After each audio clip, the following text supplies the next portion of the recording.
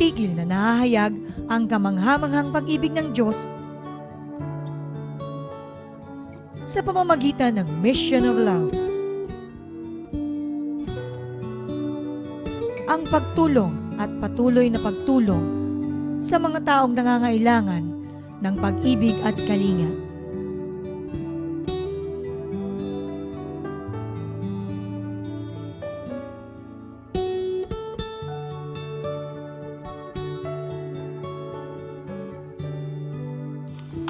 Salamat sa oras ng himala, Jesus our shield.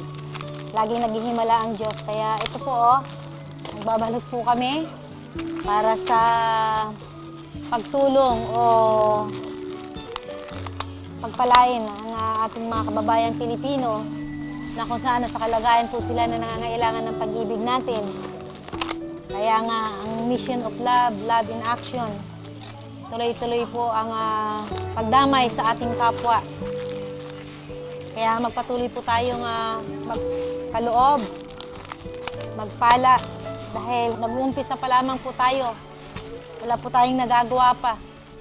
Kaya tinatawanan ako ni tatay, praise God, yung pambili ko po ng gift sa kanya, ito, binili ko na. Ng ano. Kaya salamat sa aming anniversary. Uh, dahil, syempre, anniversary namin, riregaluhan ko ang man of God. Ito po, maraming kaluluwa ang kapalit po nito. Amen? Kaya kailangan lagi po tayong manguna maging ehemplo sa layunin ng Diyos sa ating mga buhay. At sa pamamagitan nito ay uh, marami po ang maliligtas, mapagpala at magpapasalamat sa ating buhay. Bata man, matanda, lalaki at babae. Dahil sa ganitong kalagayan, hindi sila pwedeng magluto.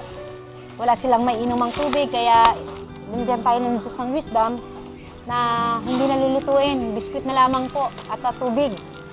Dahil ang tubig po ay napakahalaga kahit hindi po sila kumain ng walang biskwit, walang uh, pagkain, pag may tubig po, ay uh, mabubuhay na po sila sa pang ilang oras o ilang araw nilang pananatili sa ganyang kalagayan, sila po ay malakas at uh, malusog.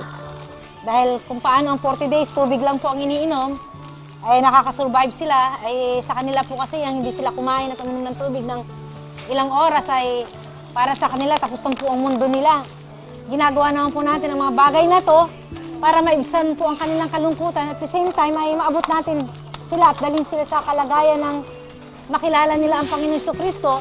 Ang ginagawa po natin ngayon ay ang tungkulin po ng Diyos na inatang sa ating buhay na kung saan ay sa ganitong kalagayan, ganitong oras at panahon, ay uh, hindi po natin kailangan kumuha ng kumot at magtalakbuhang dahil giniginaw po tayo at uh, damhin natin ang uh, kalamigan ng panahon hindi po, kundi sa ganitong kalagayan po, malamig ang panahon, umuulan, ay uh, kailangan po natin na magtanggal ng kumot at uh, danhin po ang kalagayan ng bawat kaluluwa. Sa ganitong pagkakataon ay mararanasan po nila ang pag-ibig ng Panginoon. At the same time ay ang ating puso po ay uh, nagagalak na lakaran ang uh, ibig ng Diyos at uh, ang layunin po ng Diyos na inatang po sa buhay po natin bilang mga manggagawa po ng Diyos. Kaya sa mga panahon po to, kay kailangan, kailangan po natin ng uh, hindi lang po para sa amin, sa buong um, Pilipinas, ay panalangin po para sa kanila na ang Diyos ay kumilos at gumalaw sa kanilang buhay.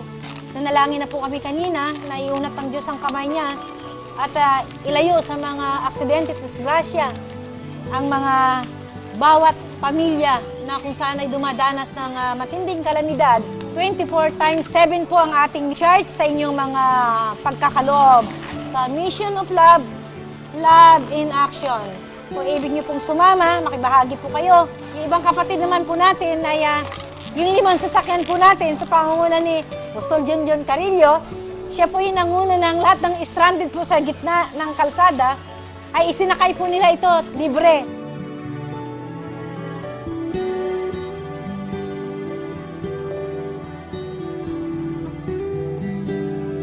At habang po sila nakasakay, ay uh, sila naman po ay sinishiran at uh, ibinabahagi naman po si Kristo para ang kaligtasan ay dumating po sa kanila. Amen.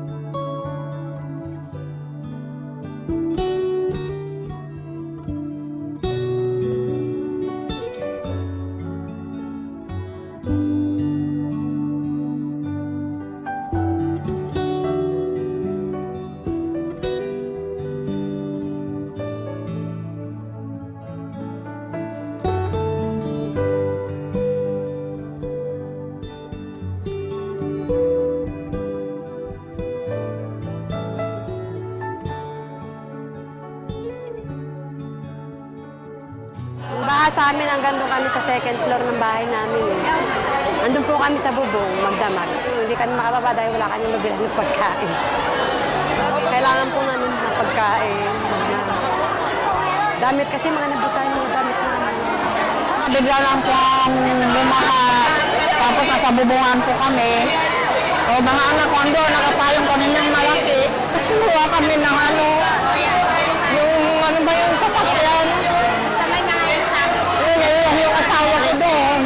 Na nasa bubungan pa nga. eh. Kailangan po namin ng mga tulong, mga damit kasi wala kami na damit. Mga damit namin nasira. Bahay namin. Natanggalan ng mga bubong. Kasi pagkain po namin wala kasi.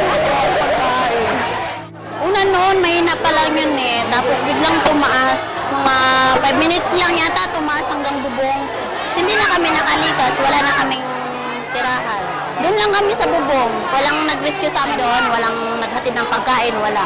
Kailangan po namin ng damit, pagkain, mga gamot. Number one yung gamot. Kailangan namin. Minuto lang. Buat tong sinabi na nagpawala ng tubig yung Lamisa Dam, bigla talagang tumaas. Lahat kami na was out. Wala nga kaming pagkain, kaya nga kami pumupunta rito para mangingi ng pagkain. Eh. Tsaka pa nga mga damit. Wala talaga, na, na, ano lahat yung mga gamit namin. Sino man po yung mga mababait, may mabuting puso, sana po tumulong sa amin na, na ng baha. Sana po matulungan kami dito kasi walang-wala po talaga kaming malapitan. Nagulat na lang po kami kasi po hindi po namin nakakalain na ganun po kabilis yung baha po. Hingi lang po ako ng tulong. Sana po magkaroon po ng tubig po na service po tubig. Kasi po wala na po kaming tubig po eh. Kaya uwaw na uwaw na po kami. Ay, may lamay doon sa may harap namin. Narescue kami na alas 3. Tapos yung pinauna namin yung patay doon sa Mitawid. Tapos kahit na na-rescue na, bumaliktad pa rin yung patay kasi lumambot yung kabaong niya eh. Sa amin naman kasi yung pansamantalang gutom kasi mga ilang araw na yung, yung ibang mga kapitbahay namin na stranded doon, baka pwede yung pagkain, yung damit, yun po. At saka yung bahay po namin, yung iba nag-iba, ganun. Lagpas tao na po. Yung tubig, wala nga po kaming kain eh. Dalawang araw na eh. Kailangan po namin ng pagkain tsaka damit. Simula nung pagbahan nandito ko, hindi man ako makalakad dahil inatake ako eh. Talagang grabe doon, wala nga kami mga damit na naligtas, puro basa, mga damit, mga panik sa pagkain, no, kung mayroon man itulong sa amin. Yun lang talaga, pambili ng gamot ko. Dahil ako araw-araw nagagamot. Diabetic ako, high blood. Grabe hirap, puro basa gamit namin. Kailangan namin ng mga damit, mga pagkain, saka ano, kung ano pa gamot sa mga bata. Ang Muslim po namin na tulong, ano po, igalam po, unan. Kaya kasi basang-basa talaga po sa amin. Kailangan namin bigas, ulam. Kung sino man may mga mabuting puso na sana tulungan kami dahil sa wala kaming naisalba, nasira yung mga gamit namin. Yan, yung pagkain, damit. Kala namin hindi na magbaha. Yung pala, bigla lang tumaas ang ano, tubig. Ang bilis eh, umano ka agad ang tubig eh. Wala na kaming sinalbang gamit. Wala na talaga. Puro na basta eh. Sisiksikan kami, wala kami mga sapi, walang bani. Karton lang inigaan namin. Hindi, gusto lang po namin, makaano kami ng ano namin, pagdating namin sa amin. Higaan namin, wala kami talaga mga gamit. Wala kami naubos dati. Yun lang po ang inano ko, mga school supply ng mga bata, uniform, wala. Yun po hinihiling ko po sa inyo. Sana pagbigyan niyo po kami. Hindi pa nga kami nakaka-recover nung mangyari nung undoy. Eto na naman. Kaya napakasakit din. Talagang masakit. Isipin. Humihingi ako ng tulong. Sana'y matulungan kaming mga nandito sa Barangay Malanday. Na sana naman po, kailangan namin ng pagkain, katulad ng bigas, kumot, damit. Siyempre, yun ang unang-una naming mga pangangailangan. Gatas, kahit papano. Kung sino man ang mabuting kalooban, sana naman po ay matulungan niyo ako na makapagpa-opera sa Gwitter. Maraming marami pong salamat. Nawagan po ako sa mga may puso po kung maawa po kayo sa amin. Lahat po ng gamit namin sira po. Wala kami kunan, wala po kami galing. Damit namin, lahat po sira lahat. Lima po yung anak ko. Yung mga gamit nila, basta lahat. Wala po kayong pambili ng pagkain. Tapos ito nga po, may lagnat ako kasi may sugat ako. Ayan o. Wala po pambili ng gamot. Nananawagan po ako kung sino po may puso sa inyo, mabuting puso po. Nahingi po kami ng tulong yung bahay namin po, sira. May tubig pa hanggang ngayon dahil hindi namin malimas-limas, hindi pa po kami nakakatulog doon. Saka yung bubong ng bahay namin, tumutulo, sira po talaga lahat. Lahat po nanonood ngayon, sana matulungan mo po kami na nasalanta po kami ngayon sa baha at nagugutuman kung hindi kami makakatawid sa baha, hindi po kami makakain. Malangoy kami, gumagamit kami ng galon at saka styrofoam para makarating kami dito makakain. Kasi, kasi noong unang bagyo ng Undoy, meron kaming bigas na nahanda talaga sa bagyo. Ngayon hindi ako nakapaghanda dahil wala namang naibigay yung asawa ko. Nandoon na sa ibang kandungan. Wala na rin tumutulong sa akin. Sana matulungan ako dito. Nahihirapan na pa ako mag-iisa. Pagkain lang po ang kailangan ko. Saka damit. Wala na po kami mga damit dahil naanod sa baha. Lumamas pa ako. Wala ko pabiling gamot. Pinapo ko namatay. Na pang isang linggo. Dito naman, nagbahaan naman kami. Wala ko kapira-pira. Naubos na sa patay. Nasip lang kami nung dalawang araw. Marami kami doon. Walang rescue. Wala kami magkain doon. Nagutom. Kaya gusto ko yun naman. Mga gamot, pagkain. Mga damit na wala kami damit pa. Puro basa sa ulan. Wala kami nakuha kahit isa. Mga gamit namin, mga bahan. Kaming ilog kami, mama. Wala kami.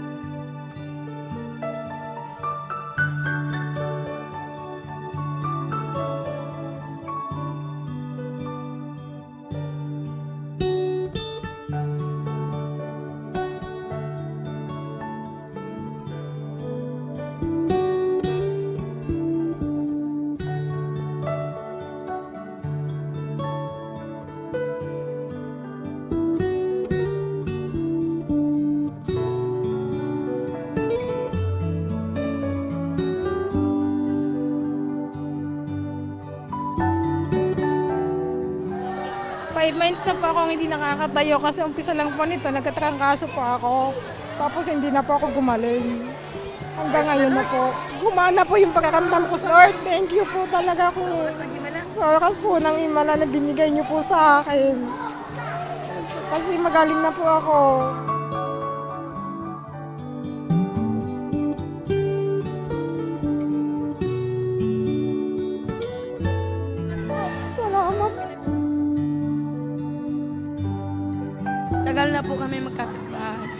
Naawa rin kami, wala naman po kami magawa. Tutuwa lang po ako dahil nakatayo na po siya.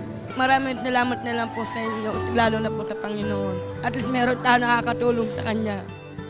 Dati, inatake ako tapos may blood ako. Kaya yun, di ako makapagsalita. Ito, hindi ko maigalaw to. Ngayon po, ito, hindi ko maitaas. Ngayon, naigagalaw ko na. Ang gumaan ng katawan ko. Lahat ng mga kasalanan ko, sinabi ko na para pagsisi ako lahat ng nagawa ko na hindi maganda. Gumaan yung dibdib ko at saka napaiyak ako. Sa lahat pinagsisisihan ko na nakaraan. Masayang masaya po at pinagaling ako ni Lord. Simulat sa pula ko nag-alaga talaga dyan. Yung kamay niya to, lagi kasi nakaganyan yan eh. Pag pinapataas ko, nagagalit sa kanya kasi masakit. Ngayon, pusa niya na nagaganyan. ganitong pray over na binigay sa kanya, malaking bagay po yung para sa kanya kasi unang-una hirap siya eh, sa sakit niya eh. Kanina ano siya eh, iyak ng iyak eh, di ba umiiyak siya. Nung ano na yung parang yung iyak niya may kasama ng saya eh. Talaga nagpapasalamat kami kahit may mga ganitong nangyayari, may mga magagandang pusong tumutulong talaga.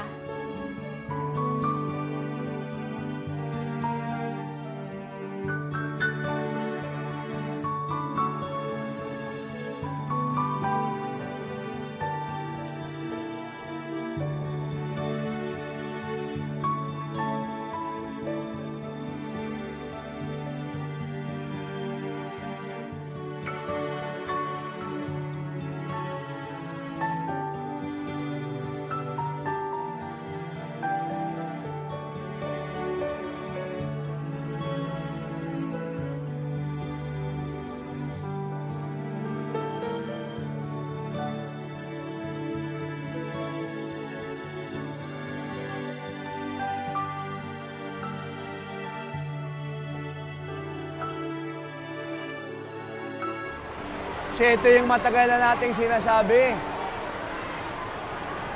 Ngayong krisis, nasa mundong ito, palaki ng palaki, pataas ng pataas, palakas ng palakas. Abnormal na takbo ng mundo.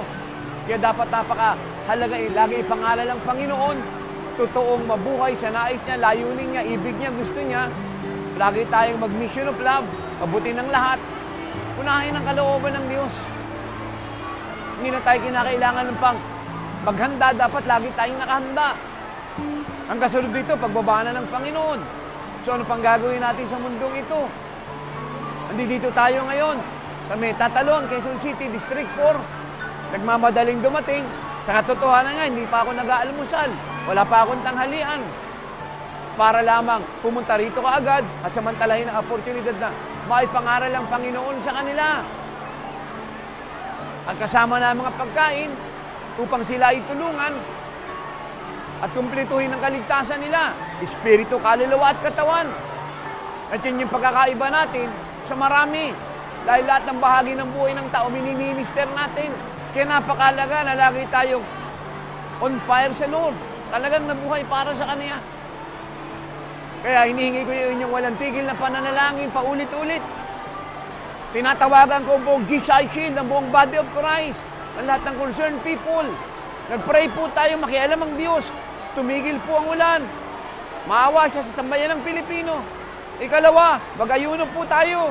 Huwag tayong mag-iba hanggang hindi po pumapayapa ang buhay ng mga kababayan natin. Ikatatlo, makiisa po kayo sa amin, kailangan namin ng volunteer. Pumunta kayo Cinema 21, kailangan natin ng daang tao na tutulong sa amin para abutin ng mga kababayan natin, para magbigay ng goods. Mag-assist, magluto, mag-pack, mag-repack. At wini-welcome namin ikaapat ang inyo po mga kaloob. In cash or in goods. Pwede niyo pong dali sa Cinema 21 po yan. As soon as possible. Para magamit po yan kaagad na maihatid sa mga kababayan natin. Huwag po natin kakalimutan. Mahalaga po ang oras, ang panahon. Lalagi yung sinasabi ng ating katandaan, anin mo pang damo kung patay na ang kabayo. Kaya lagi kong sinasabi, kami sa oras ng himala. Ang mission of love namin, hindi pang bagyo lang, hindi pang linggo lang, pang ulan lamang, pang krisis lang. Pang araw-araw po ang mission of love namin. Siya po'y pangkalahatan, walang pinipiling lugar, tao at panahon. Willing able tayong tumulong.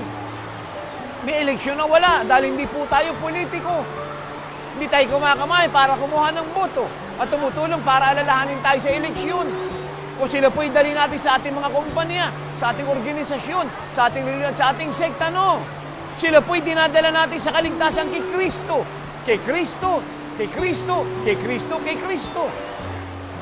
Upang magamit ng lubos at ganap sa mga nangangailangan. Hindi ko po alam kung kaya itong tapusin ng isang buwan. Pero kahit tumagal po tayo, pipilitin natin makaabot ng mas maraming tao as soon as possible. Ihatid niyo po siya personally sa Cinema 21 in cash or in goods, tubig, inuming, kasuotan, gamit at ano pa, at iba pa at marami pa. At higit po sa lahat, mag-volunteer po tayo. Manalangin, mag-ayuno, magbigay ng panahon to assist us to join us, to be with us, to help our nation. At in-expect po namin na hindi nyo siya ititigil hanggang ang lahat po ng ito ay mailagay natin sa kaayusan. Muli, tinatawagan ko ang buong GCI Shield here in abroad. Tinatawagan ko ang body of Christ. Tinatawagan ko ang religious sector. Tinatawagan ko ang concerned people. Everybody are welcome to give their best for the work of God. Let us do it today. For tomorrow may be too late. At sama nyo rin po kami sa panalangin. We need your prayer. In Jesus' name. And let us do it now. And everybody say, Amen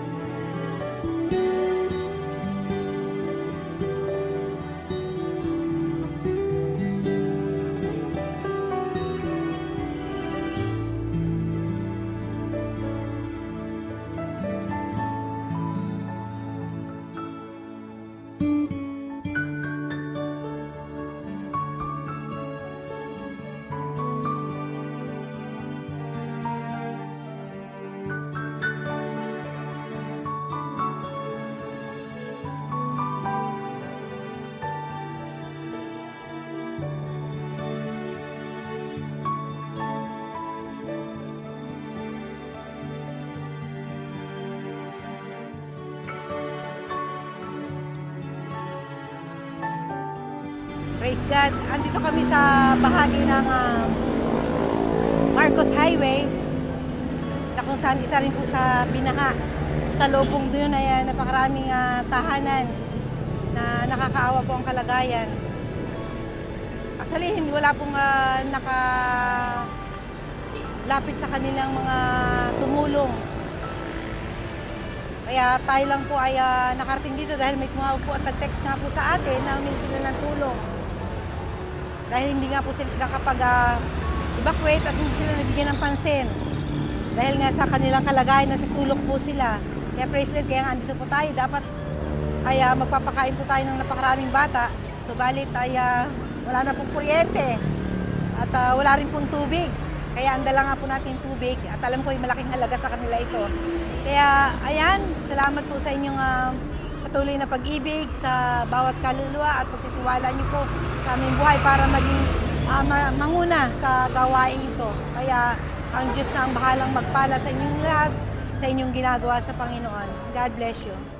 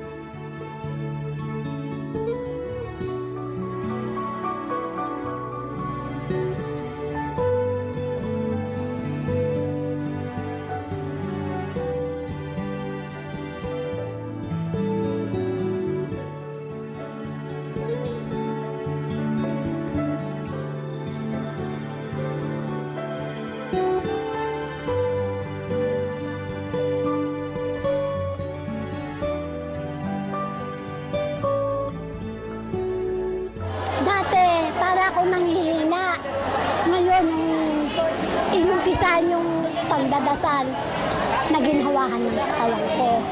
naluwagan yung hininga ko. Kasi para akong mahika.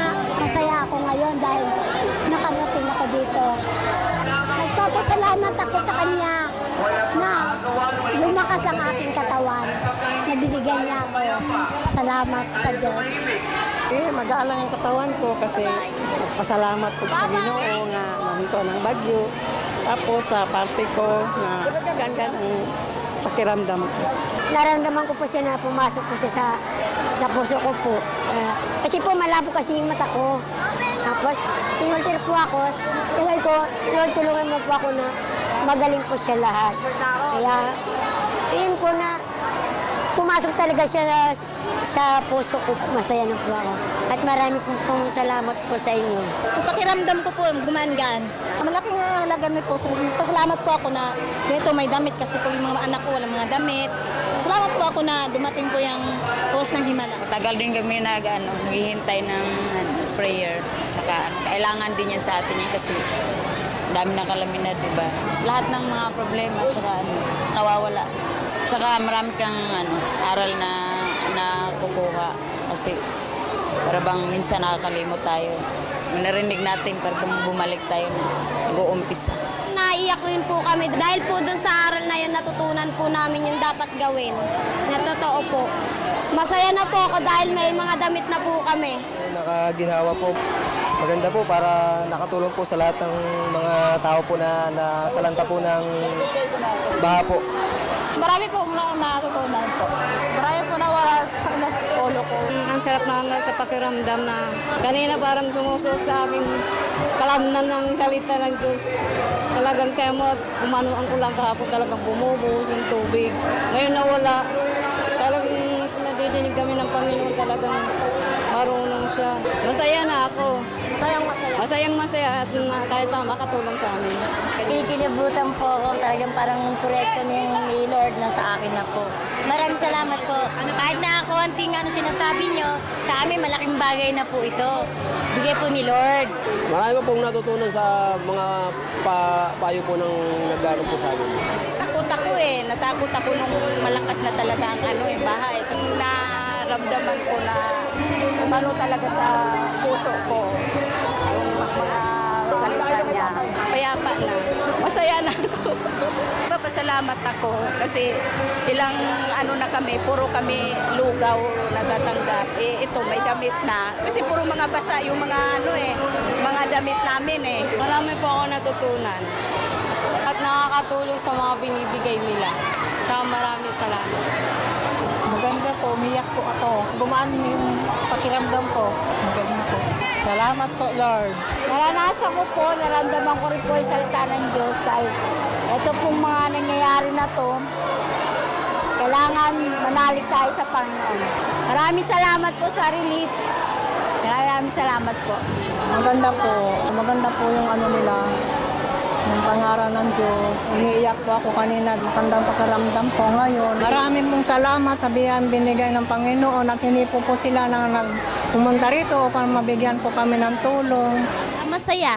Nakaka-relax siya, nakakawala ng sakit sa katawan. Thank you sa mga na- nagbigay. Salamat, salamat. Guminhawa po ang aking pakiramdam. Higit sa lahat, ah, pumasok sa katawan ko ang ating mahal na Panginoon.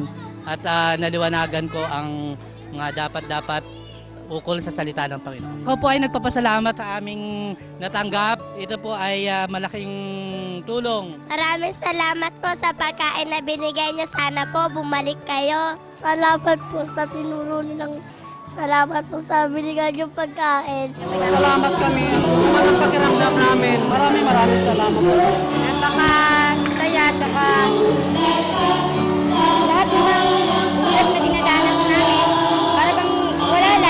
dahil sa na, narinig namin kanina. Tsaka nakakatanggal ba ng pagod ba lahat? At tsaka nagpapasalamat kami kasi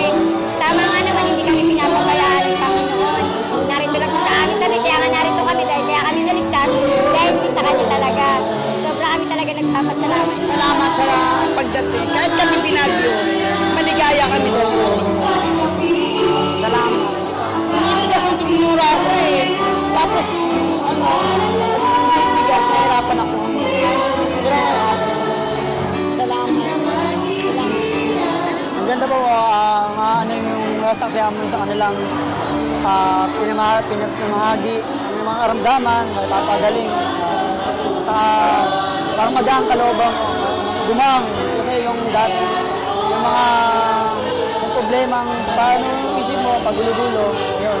Kaya ngayon, lumuwag ang iyong pakiramdam. Kaya na ho kami. Kasi ang laki tulong yung binigay sa amin ng ah, oras ng himala. Yung narinig ko po, maganda po sa aking, naging kalooban. Meron po akong diabetes at arthritis.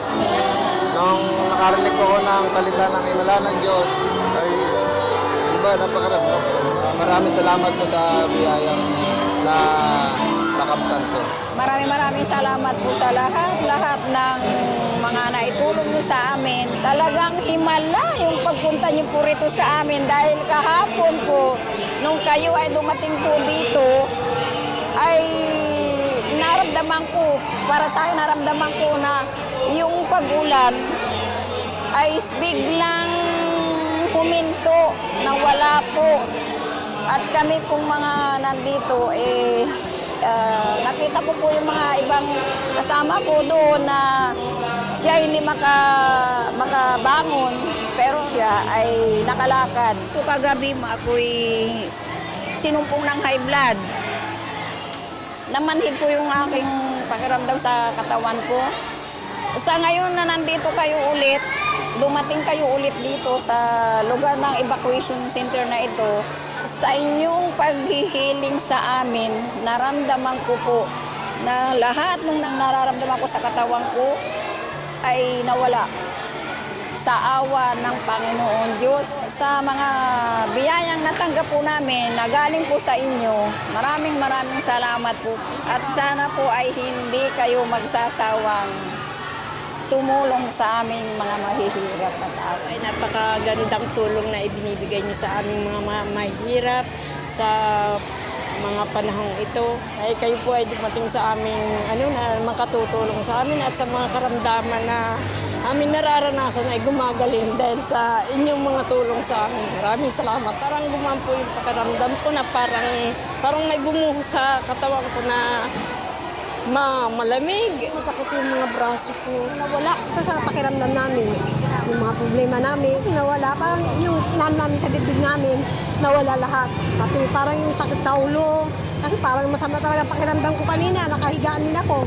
Talagang ganito ang magaan talaga ang loob ko. Maraming salamat sa kanya. Lahat po ng stress at saka yung bigat ng kalooban at saka sakit ng bato, nawa, nawala po. Salamat po sa at dumating kayo. Lahat kami dito ay masayang masaya sa biyayang pinagaloob ninyo sa amin at saka yung ah, habang buhay po namin yung tatanawin ng ano, magandang ano sa inyo at sa yung presensya ng Panginoon nadama po namin. Maraming maraming salamat.